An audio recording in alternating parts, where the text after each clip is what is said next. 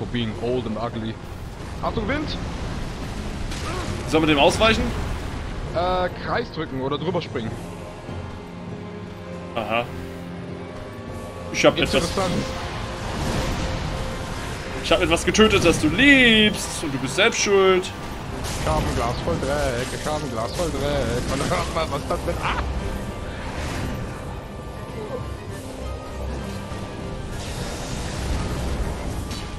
Mieses Stück Scheiße. Au!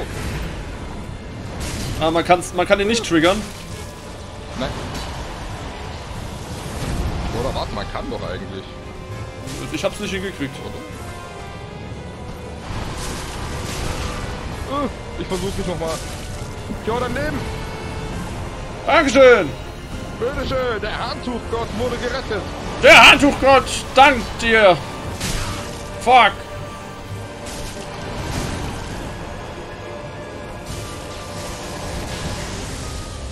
Achtung, Achtung, es ist noch nicht weit. Nochmal, wegrollen, wegrollen. Oh. Achtung, Blitz, Blitz, Blitz, Blitz. Bewegung bleiben. Stirb. Oh, man kann ihn parryen. Fuck. Wäre geil, wenn die Waffe wirklich so wäre, wenn du sie hast. Ja. Ja, nein. Ah. Ja, nein. Dankeschön. Nein, ja. Nicht. Vorsicht. Scheiße!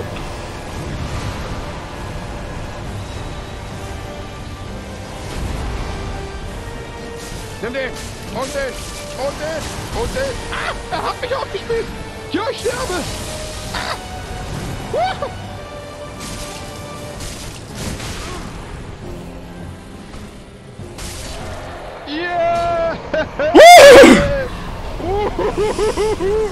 Oh mein Yeah, Motherfucker, yeah!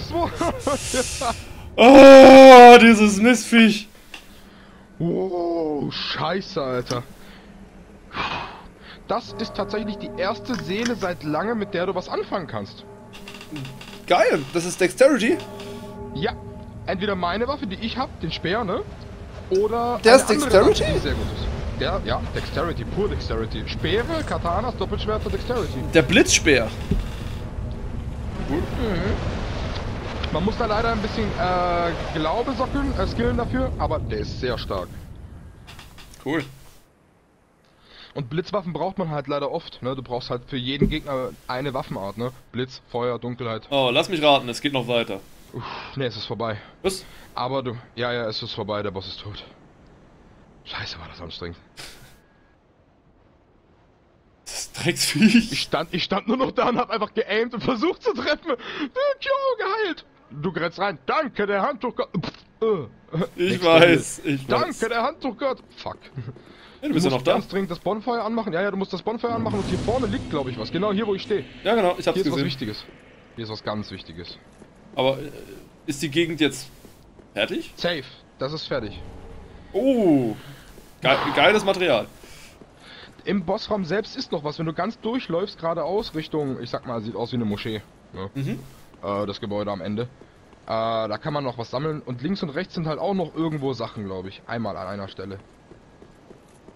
Gucken wir doch noch Oh. mal ein bisschen rum. Dieses Mistviech. Ja, du findest. Eine Rüstung findest du noch, glaube ich. Wenn mich nicht alles täuscht. Irgendwo findest du eine Rüstung. Wenn an der linken Seite auf der Zinn nichts ist, dann ist es auf der rechten Seite. Okay, ich gucke, ich gucke.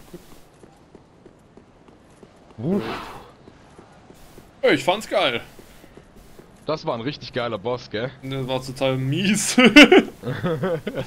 ich liebe ihn. Der war richtig gut. Mhm. Scheiße.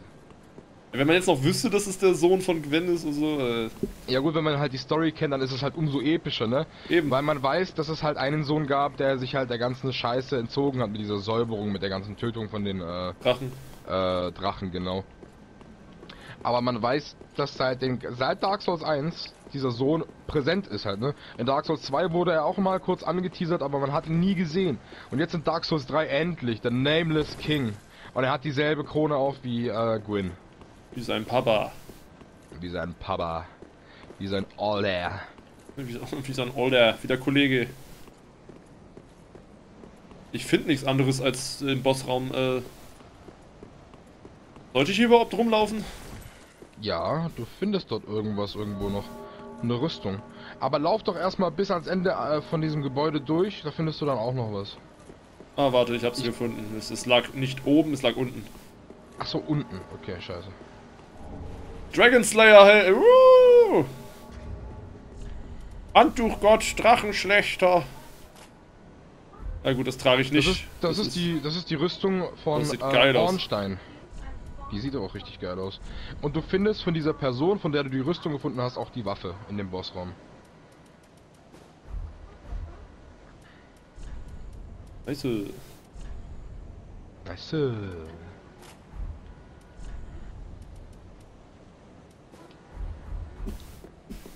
So. Da ist der Drachen, Sch äh, Drachenschlechter Speer. Nice. Mhm. Oh nein, nicht hier schon wieder.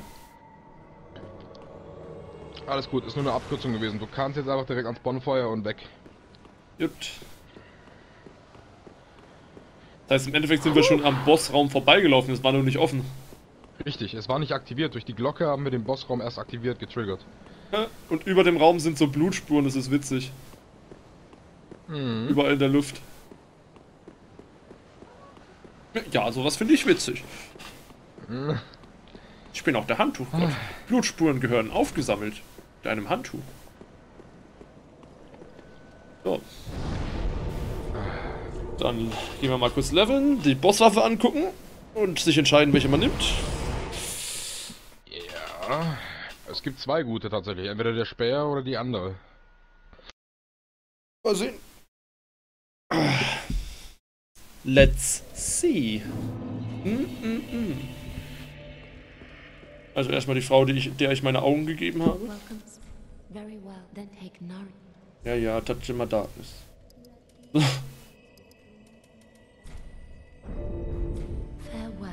Farewell, One. Dann gebe ich noch das Item für die Asche, dass ich dann alles kaufen kann.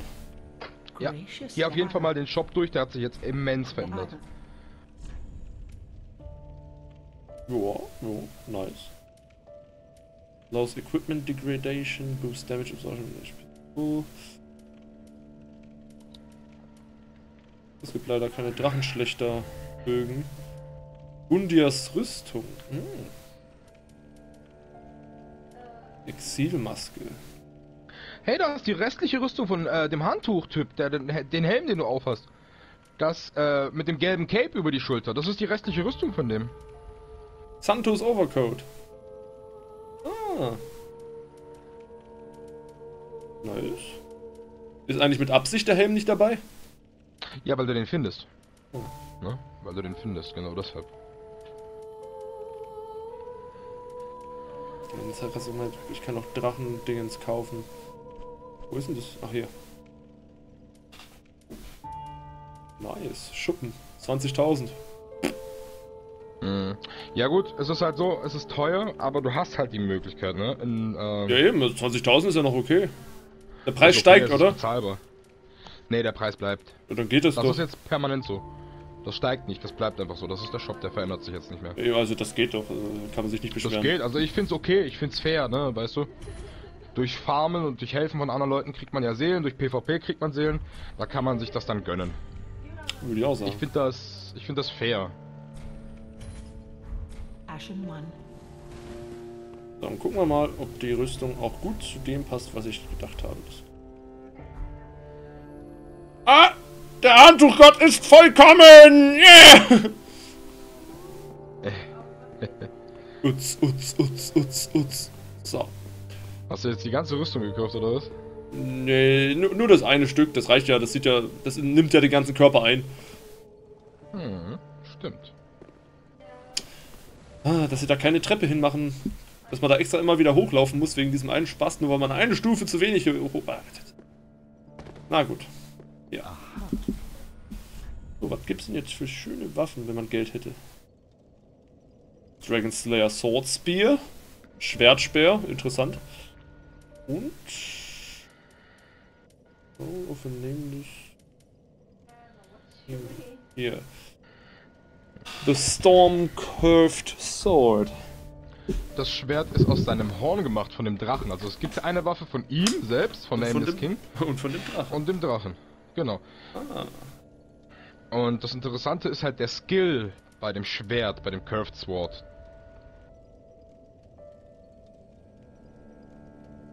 Also wenn du auf die Waffe gehst, Nameless viereckst, King, ally das. of the ancient dragons, fought beside the storm drake in countless battles. When the great beast fell, the king claimed his soul, as was the custom in the age of the gods. Also das war diese Cutscene, die wir gesehen haben, ne? Mhm. Da hat er aus seinem Horn diese Waffe ge- gemacht, kurz. Genau. Skill, Tornado. Imbue blade with the wrath of storm in a spinning motion and follow with a strong attack to bear that wrath upon foes. Also wenn du den Skill anwendest, fliegen halt die Leute alle weg von dir, weil du halt äh, durch, den, durch de- den Wind halt dafür sorgst, dass alle Gegner wegfetzen, ne? Oder halt erschüttert sind, ne? damit du halt Damage machst. Ist ein bisschen so, man könnte sagen, es ist eine kleine Version von deinem äh, Schwert, was du hast, ne? Weil es ja auch dafür sorgt, dass Gegner weggefetzt werden. Weißt du was? Ich hol mir das. Hm. Gönn dir. Das ist ein geiles Schwert.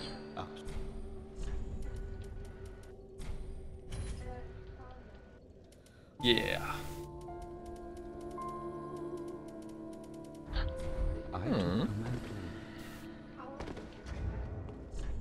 So, da haben wir's.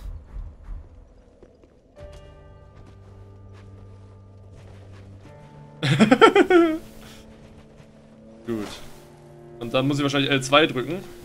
Ja, L2 und dann R2. dann kommen diese Sturmsachen. Aber nur dann, oder? Das ist so ein Special. Ja, L2 und R2 zusammen, genau. Das ist der Special. Du machst Schaden, gleichzeitig sorgst du mit, für Wind dafür, dass die Leute von dir wegfetzen. Ist das praktisch im PvP? Im PvP ist es praktisch und im PvE auch, weil äh, damit erschütterst du Gegner und wenn sie halt erschüttert sind, kannst du besser draufschlagen. Und das ist schnell. Mit R1 kannst du halt schnell zuschlagen und es skaliert mit Dexterity, ne? Problem ist das Mana. Das Problem ist das Mana. Das, das ist halt eine mana-lastige Waffe, ne? Da müsst, Da geht mehr Mana weg als bei deinem vorherigen Schwert. muss das, man Intelligenz. Intelligenz muss man verbessern, damit Mana drauf geht, oder? Zauberei. Zauberei, das ist. Äh, Ähm, At Attunement. Also da, da, warte mal kurz. Das ist das zweite, unter das Le Unterleben. Genau, es heißt hier Attunement. Ach so, okay. Genau. Attunement. Einstimmung, Gestimmtheit, Besinnt. Okay, interessant. Bei mir ist das Zauberei. Ja, schon witzig. Aha, interessant. Danke, Spiel. Danke. Dankeschön. War es das Astora Greatsword, das von dem Dancer, oder nee, von Pontiff war? Nee, nee, das, ähm. Nee, ah, okay, ich hab's. Profaned Greatsword.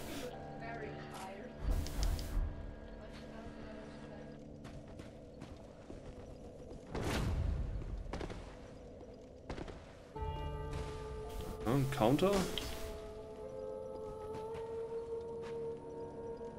Ist die Waffe von Pontiff irgendwie. Äh, wenn du. Ist ein rotes X an der Waffe dran? Ach, du hast kein Mana. Du hast kein Mana. Setz dich mal ans Bonfeuer, damit du sie einsetzen kannst. Dir fehlt das Mana, damit du die Waffe einsetzen kannst. Hinsetzen und dann nochmal L2 und danach R2 drücken. Ah. Und dann bleibt die erstmal geladen. Genau. Die bleibt dann erstmal am Brennen, Wie lang? aber später erlischt sie. Später erlischt sie. Wenn du R2 jetzt, wenn du jetzt den Auflader R2 machst, dann spuckst du Feuer nach vorne im Prinzip. Du machst nicht nur den Stoß, sondern du zwingst das Feuer auf deiner Flamme da- dazu, nach vorne zu strömen auf den Gegner. Du siehst ja, dass die Flamme bündelt sich vorne an der Spitze mit der Animation und dann geht's nach vorne. Wäre auf jeden Fall mal eine Feuerwaffe, klingt doch gut. Ja, aber keine Deckswaffe, oder? Das ist eine Stärkewaffe. Ja, ja. Ah, ah, gut. Hm. Was gibt's denn für Dexterity Flame Weapons? Ich überlege gerade. Wir finden demnächst eine. Cool. Na dann, Rettungstruppe auf! Also der Dieb ist übrigens immer noch da. Soll er langsam sterben, oder? Nee, nee, einfach mit ihm reden. Der will I've demnächst weggeschickt werden, danach kommt er nicht wieder. I'm aware of the deep. Not a single man has returned, but I don't want to sit around and, and I consider myself. Okay. Thank you. Schicke ich ihn halt wieder weg. Kauf noch alles Nötige bis dahin. Genau, die Ember schön rauskaufen, ne? Die sind schon weg.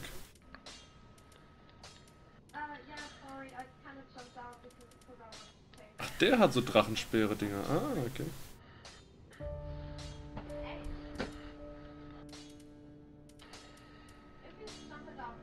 Uh, der hat auch noch Titanitschuppen.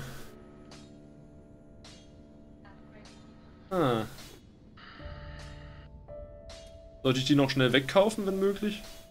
Mm, nee. Brauchst du nicht. Es sei denn, sie sind dort günstiger. Ja, 4000 günstiger. Musst du wissen, ob es dir das wert ist. Goodbye. Ich gucke jetzt erstmal, ob ich überhaupt was zum Verkaufen habe. Oh, Fang aber nicht an zu experimentieren und verkauf irgendwas Wichtiges oder so, ne?